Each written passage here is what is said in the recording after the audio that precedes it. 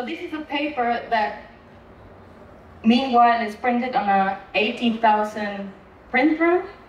Uh, it's getting harder and harder to to finance. That's why I have a job now uh, at the Kunsthalle as a communication strategist.